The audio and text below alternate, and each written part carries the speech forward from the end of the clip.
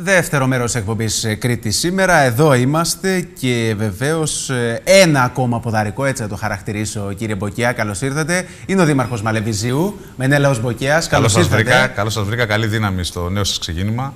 Νέο πρόσωπο, φρέσκο πρόσωπο στην αυτοδιοίκηση. Νομίζω ήταν ε, ιδανική επιλογή που κάναμε να είστε εδώ, κύριε Μποκέα. Έτσι, έχουμε και πολλά να πούμε άλλωστε. Αυτό θα το κρίνουν και οι τηλεθεατές, αλλά νομίζω εντάξει, ξεκινάμε, ξεκινάτε κι εσείς, ξεκινάμε κι εμείς δυναμικά τη, τη, έτσι, το ξεκίνημα των καθηκόντων των καινούριων.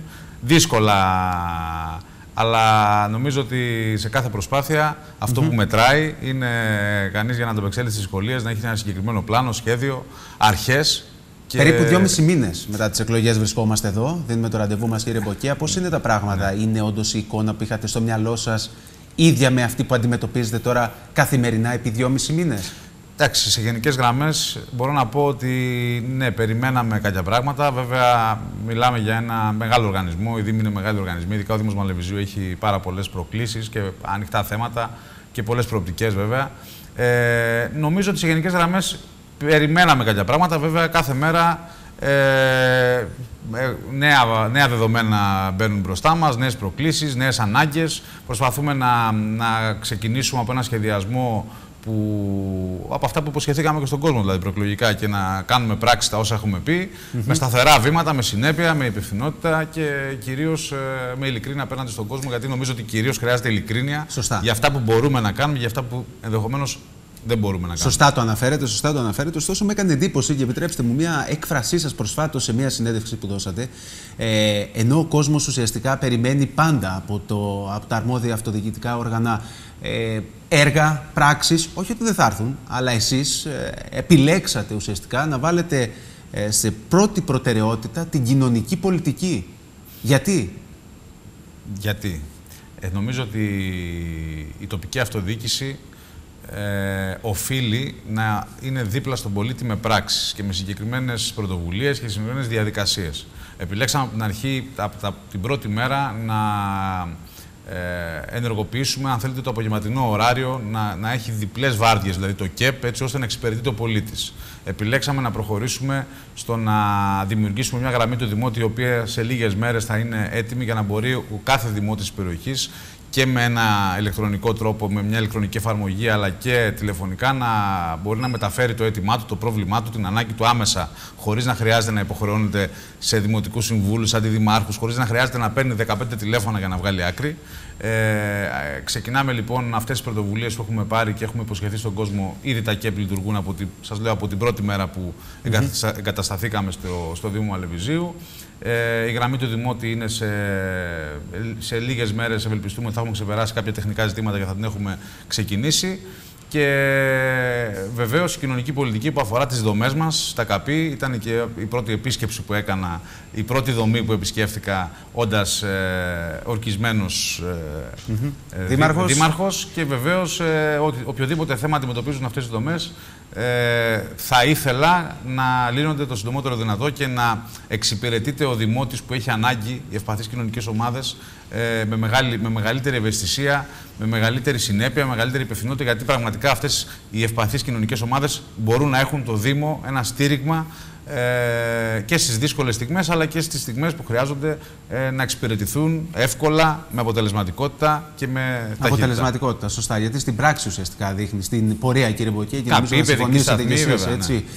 Ναι, ε, πείτε μου κάτι, κατά καιρούς και διαχρονικά ο Δήμος ε, Μαλεβιζίου έχει κάποια συγκεκριμένα αγκάθια όσον αφορά τα προβλήματα και εκεί θέλω να εστιάσουμε λίγο και να μου πείτε ποια η λογική σας, ποια η προτεραιότητά σας πρώτον ε, ο κόσμος διαμαρτι... ε, διαμαρτυρείται καθημερινά για το κομμάτι της Αγίας Πελαγίας. Θα μου πείτε, δεν είναι 100% θέμα του Δήμου. Ένα. Δύο, το θέμα τη. Των κόμβων εννοείται. Των κόμβων.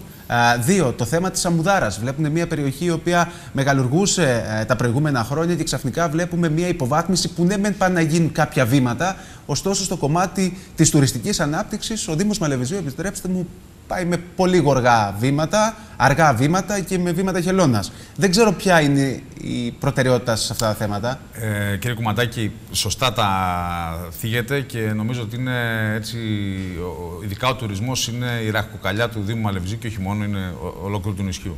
Ε, σε κάθε περίπτωση η προτεραιότητά μας είναι να βάλουμε μια τάξη σε αυτό που λέγεται πολεοδομικός σχεδιασμός, να προχωρήσουν τα σχέδια πόλης που για μένα είναι η μεγάλη ας πούμε, ανοιχτή πληγή της περιοχής για πάρα πολλά χρόνια. Βέβαια, έχουν γίνει κάποια βήματα. Πάνω σε αυτά τα βήματα και εμείς θέλουμε να πατήσουμε, να προχωρήσουμε ό,τι έμεινε πίσω, να συνεχίσουμε ό,τι έχει μείνει σε κρεμότητα, να σχεδιάσουμε κυκλοφοριακές μελέτες για την περιοχή των τις αστικές περιοχές του Δήμου, όπως είναι το Γάζι και η Αμουδάρα και τουριστικές περιοχές, για να μπορέσουμε να αποσυμφορήσουμε και τις περιοχές αυτές, αλλά και να δημιουργήσουμε ένα πιο βιώσιμο αστικό περιβάλλον.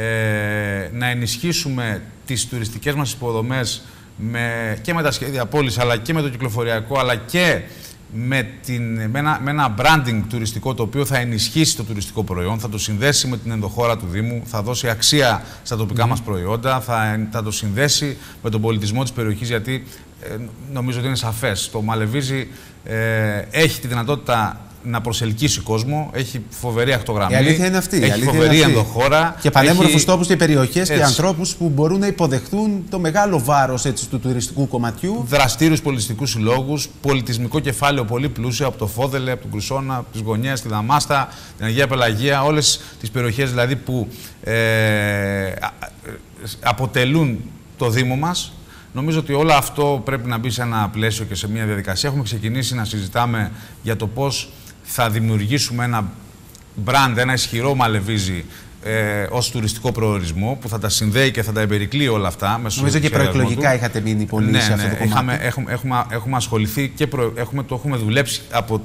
την προεκλογική περίοδο πολύ αυτό το κομμάτι και είμαστε σε φάση όπου και συζητάμε με διάφορους έτσι, γνώστες και ανθρώπους περιοχής και με επιχειρηματίες και με εργαζόμενους και με συλλόγους και με ανθρώπους του πολιτισμού για να δούμε πώς όλο αυτό θα μπει σε μια ε, ενιαία δράση, πώς θα μπει σε μια ενιαία λογική.